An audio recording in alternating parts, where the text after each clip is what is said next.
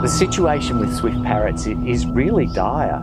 There's only a few hundred left, and in the case of the swift parrot, extinction is a choice. If we continue to get rid of these forests through logging, the swift parrots won't exist anymore.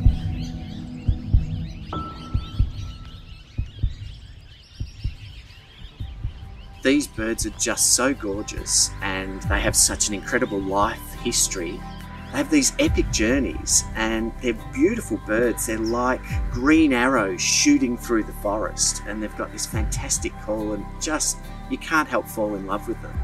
When the spotted gum forest is in flower, it just attracts big flocks of swift parrots that come to feast on the bounty of the, of the nectar and also the little lerp insects.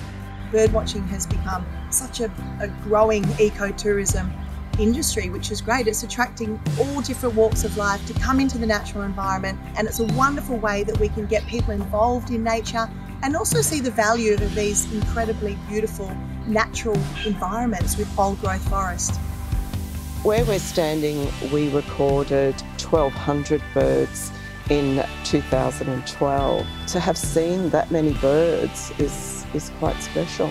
And in Boyne State Forest, I had seen hundreds of swift parrots across a number of years. And yet, you know, I turned up in August and they'd logged that whole area. It was heartbreaking. I just couldn't believe it. I, I just cried.